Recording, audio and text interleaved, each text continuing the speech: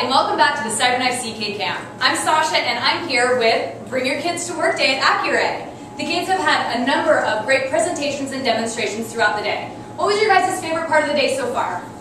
Yeah. Uh, Mr. Moo's tricks. Oh, cool. Yeah. The science. The science. Yes. How about down there? Uh, Mr. Moo's trick. Mr. Moo, very, very famous. Yeah. Mr. Moo. Mr. Moo, yes. Airplanes. The airplane simulator? Oh, very cool. How about you? Flight simulator. Flight simulator, yeah. Flight simulator. Fight simulator, yes. Flight simulator. Fight simulator, it's a popular one. How about you right here? Flight Simulator seems to be a very popular one of the day. We've also been joined by Monica, who is an engineer for Accuray. Now, Monica, I understand you're going to tell us a little bit about, about the Xchange Collimator. What Yes. exactly is that? It, well, it's a system that allows you to be able to change the collimators during treatment, minimizing treatment interruptions.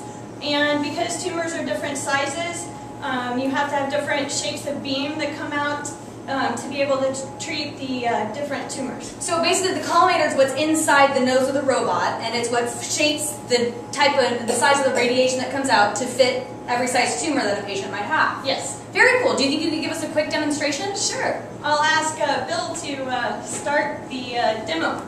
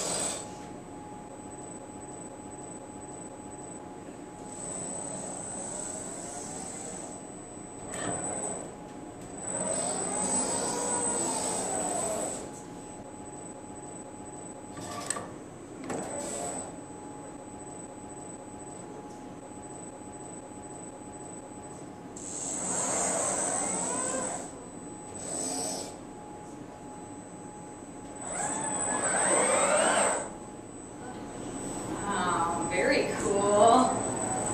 And it goes back to Ah, good job, CyberKnife. So now I do hear that sometimes after hours, after everybody goes home, that sometimes the CyberKnife likes to cut loose. Well, I've, you- I've heard rumors, You've heard rumors? you know,